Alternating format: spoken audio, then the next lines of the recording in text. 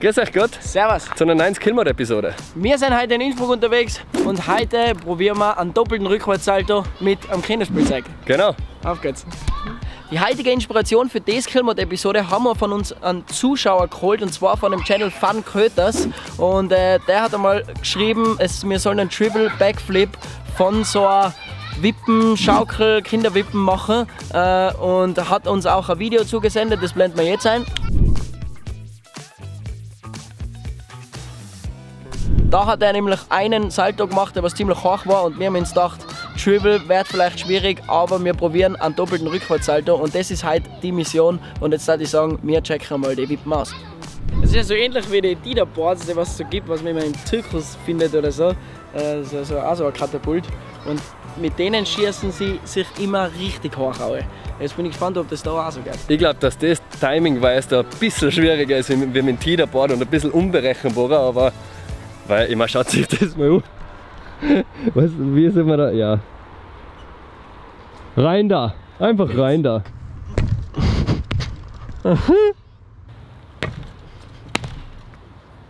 Nochmal. Das funktioniert ja krank gut, Alter. Nochmal. Oh, Alter, war nicht mehr so gut. Der war weniger. Sogar? Ah, ich weiß nicht. Es fühlt sich auf jeden Fall strange an, weil jeder Sprung ist so Wachs-Timing-Geschichte und jeder Sprung ist so verschieden. Ja, das ist echt ein bisschen eine Challenge, ähm, weil es ist ja wirklich, es ist eine reine Timing-Sache. Wenn man gutes Timing erwischt, dann geht es relativ hoch. Und wenn man schlechtes Timing erwischt, dann geht es überhaupt nicht. Aber ich würde sagen, wir hauen jetzt mal in einen Flip rein oder ein Backflip geht sich immer aus. Ah, sowieso. Okay, bevor wir uns jetzt in die Challenge reinhauen, wärmen wir uns natürlich ein bisschen auf bei dem Spielplatz, weil da sind ein paar ganz coole Gegebenheiten, wo man schon was machen kann. Rein in den Action-Edit. Get a shakedown. Order up that beat just like it's takeout. Show me you got soul inside those new shoes. And you can rock and roll with an attitude. So good, so fresh, just the way. Ja, ich wollte eigentlich gleich mit an der Stelle den in die Dive Ja, das habe ich mir jetzt gerade gedacht. So entstehen Ideen im Parkour und Freerunning, weil der Stefan gleich gesagt da noch Roll dazu war schon krank. Und das war eine kranke Idee, aber komplett irre.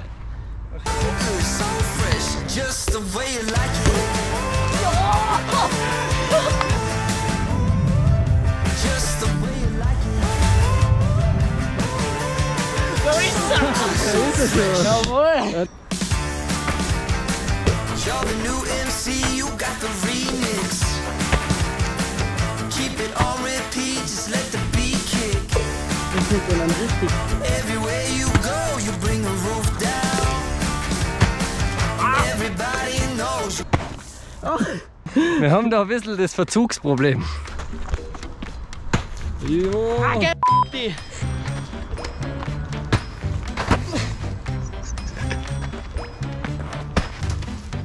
Der zählt. Der muss zählen. Passt. Okay, weiter geht's.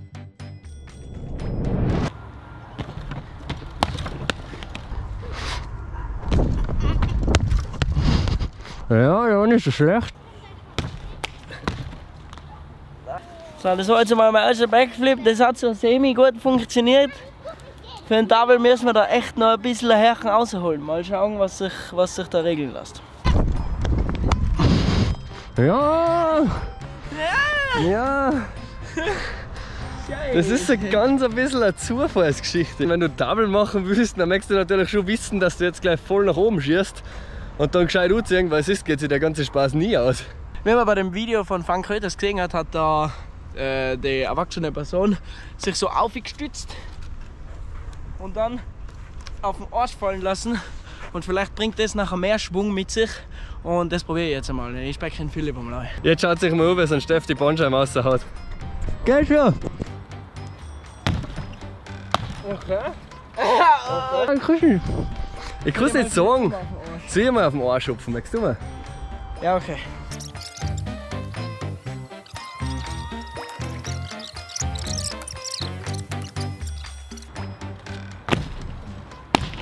Jetzt nochmal mit Wechsel. Ja. So, ich werde jetzt auch noch mal einen Backflip reinhauen. Der Stefan haut sich mit dem Arsch von oben machen und ich schaue jetzt auch noch mal, wie es mir da geht. Und dann vielleicht machen wir zuerst noch ein paar andere Tricks, so Backfull und Frontflip und so, aber Double ist schon ein bisschen Commitment. Also schauen wir mal, wie der jetzt geht. Alter, boah, das ist schlimm war es noch nie. Komplett für den Arsch. Ja, das ist Alter, ist gut. nie. Nein, ich spür's nicht, Alter. Na, Bullshit. Na, Alter, das fühlt sich so schlimm an. Also wie man gerade gesehen hat, ist das hübsch unberechenbar. Ich war fast bei einem Backflip gerade angenackt. ähm, von dem her, das ist so ein bisschen ein Zufallsprinzip und da, da, auch da schaut es mich schon aus. Bin ich gespannt, ob den heute auch noch reißt. Was heißt jetzt das Schlimme dabei ist? Wir müssen jetzt einfach überwinden, so, da nutzt es einfach nichts. Also du musst dich dann einfach reinhauen. Wenn da was schief läuft, dann knackst du so. Also wo ich rausgekommen bin vom Salto, da hatte ich mir denken können, ein Double geht, oder? Ja. Aber beim Absprung nie. Nein, nie, ja. Also es ist immer so ein Mix, Also- gemischte Gefühle. Ich kann eine Sache schon mal sofort sagen. Ah, ich finde es das cool, dass du uns einen Triple zutraust, aber Double ist, glaube ich, das höchste der Gefühle, weil Triple, das ist ganz schlimm nochmal. Weil es ist easy, mal einen Hechen Backflip auszuzauen oder so, aber für Double, da braucht schon ein bisschen Timing und ein bisschen Speed und so. Ja, mit einem Double, glaube ich, kann man schon zufrieden sein. Okay, ich probiere jetzt einen Back Full. Das heißt, ein ganzer Rückwärtssalto mit einer ganzen Schraube. Ja! Oh. Ja, jetzt hat das Timing nicht zusammenpasst. Und jetzt habe ich einfach abbrechen müssen in Salto in der Luft. Und bin aufs, auf den Kreuz, aufs Kreuz geflogen. Okay, nach deiner guten Backflips, die ich jetzt gerade unten habe, probiere ich jetzt mal einen Frontflip. Oder vielleicht sogar vorher mal Sideflip. Ja! Ja, okay. Hat schon mal funktioniert, aber das ist so richtig unsatisfying. Ich glaube, das sieht man in der Slow-Mo, was wir vorher gemacht haben, ganz gut, wenn das Timing nicht stimmt, wie es da die Knie zusammenpresst einfach. Das ist so richtig ungeil. Richtig das schlimmste Gefühl ever für Flips. Ich spüre es immer in Breite, Alter. Wenn nachher so zurückgehst und dich vorbereitest, weil irgendwie springt man nicht wirklich weg, man lässt sich eher bouncen als wegspringen. Und wenn man dann das Timing äh, verpasst und schon im Rückwärtssalto ist und nachher kommt erst der Busch, dann schiebst du die Bunjam komplett ins Hirnkast, glaube ich. Wollte jetzt an Steff sagen, er sollte jetzt Frontflip machen, weil ich einen Sideflip gemacht habe. Und jetzt hat er gemeint, nein, das kann nicht gehen und ich sollte ihn einfach machen. Du stehst gerade so gut. Boah, aber der war behindert. Okay, Steff hat sich gedacht, er schaut sich das jetzt einmal an, weil das bei mir so geil war. Ja! Der war gut. Der war voll gut, aber richtig schief wie jeder Frontflip vom Steff. ja Alter, voll scary gerade über den Kopf gehen. Nochmal, echt? Ja. Hättest du das aber wissen. Hallo!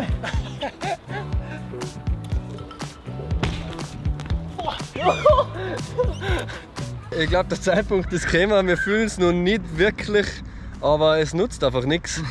Wir wollen uns jetzt in den Double Backflip reinhauen. Jawohl. Und genau, jetzt probieren wir noch ein, zwei Mal und testen halt so, oder? Und dann hoffentlich fliegen bald. Jawohl. Wir wollen ja unser Skillset erweitern.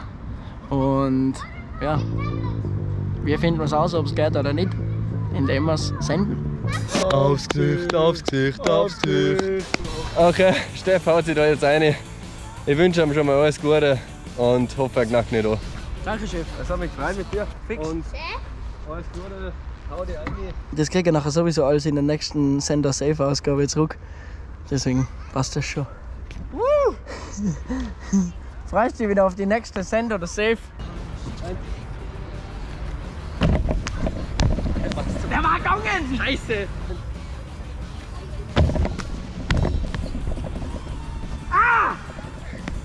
Ist das geschissen? Ja, nein. Ja, Die sind so gut. das war er. Ja, die sind so gut. So, eins.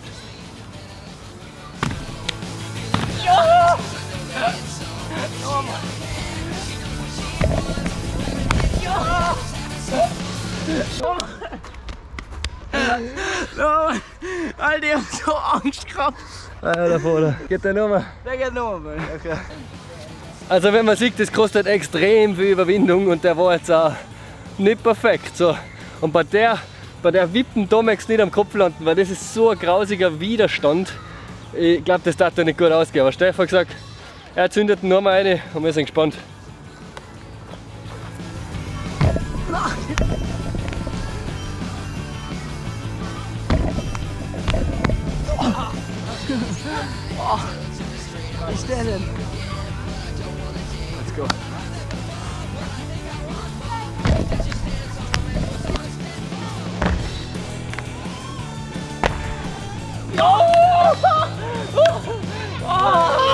Alter, der ist echt nicht ohne.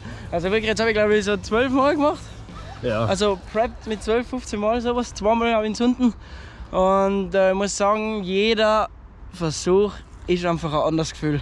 Es ist wirklich, entweder es bounce ein bisschen her, ein bisschen weniger. Manchmal hast du mehr Salto-Rotation, manchmal weniger. Es ist wirklich komplett äh, unterschiedlich. Und du musst eigentlich in der Luft entscheiden, ob es das jetzt geht oder nicht. Und äh, ja, wirklich nicht ohne, wirklich schwer. Und, aber ich glaube, äh, dass ich den erstehen kann und die, machen nur mal. Für die Parkour-OGs in der Community.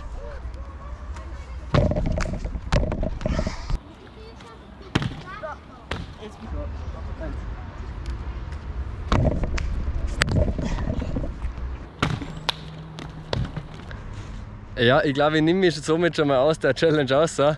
Weil ob es mir jetzt klappt oder nicht, ich bin jetzt relativ miert, nachdem ein Steff da 30 Mal oder sowas, um die 30 Mal da einige aufgebounced habe. Mir dann die Handgelenke weh von deiner Stützen da und der Arsch tut auch schon ein bisschen weh. Und man sieht, wie knapp das bei ihm ist und ich darf mich jetzt nicht über am Ei einplatzieren.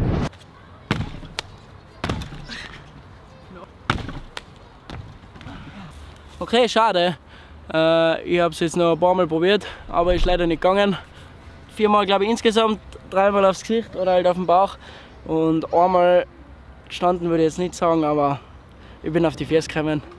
Und ja, das Thema Double Backflip wäre somit halbwegs abkackelt. Jawohl. Ja. Aber Triple, never.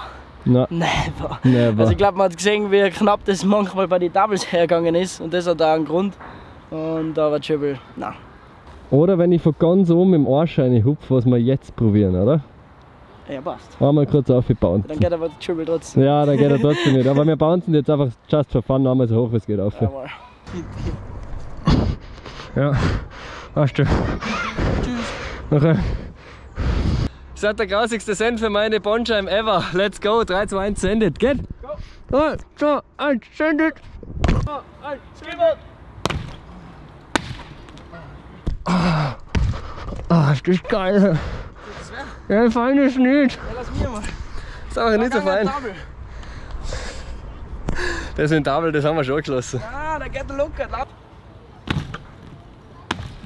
Okay, wir machen jetzt äh, noch einmal äh, ein paar Preps für einen Double Backflip und zwar mit der neuen Technik, was der Philipp gerade gemacht hat. Von oben anspringen und auf den Arsch landen lassen. Somit sind wir ein bisschen her, aber auch nicht viel. Und ja, schauen wir mal und wenn ich mich gut fühle, dann ziehe ich who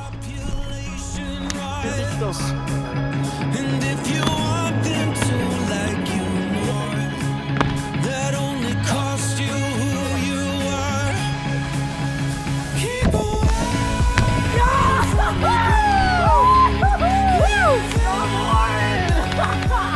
Da ist er! Alter! Aber wie schön. Ich glaube, den müssen wir jetzt- jetzt nochmal in feiner Slow-Mo reinzünden. Ha? I've been thinking lately about the writing on the wall. Voll geil, Stefan hat ihn gerade geschafft. Bei der Kamera, die auf dem Stativ gestanden ist, ist gerade der Akku ausgegangen, wo er ihn gemacht hat. Aber wir haben Gott sei Dank noch einen GoPro-Angle, weil sonst müssen wir das jetzt nur mal machen. Machen wir nochmal, ist kein Problem.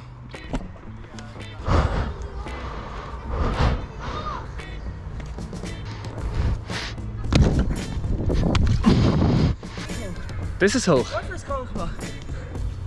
Auf dem Arsch, ich speck die Aue, brenn mich sofort um und probier nachher noch einen Backflip reinzukriegen.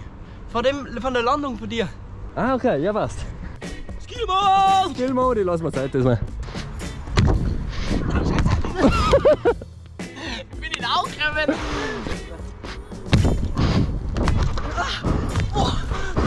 Das ist richtig stressig. Aber ich glaube, das zünden wir jetzt einfach. Ja, fix, Alter. Das ist eine geile Challenge. Richtig stressig.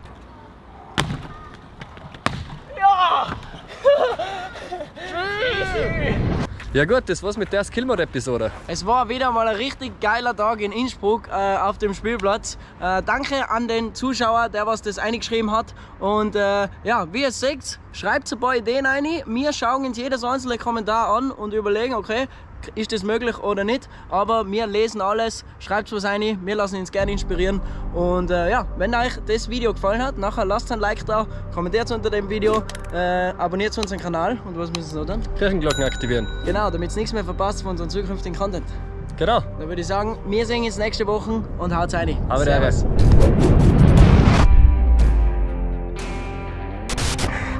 Philipp Castaway, geht schon. Jo!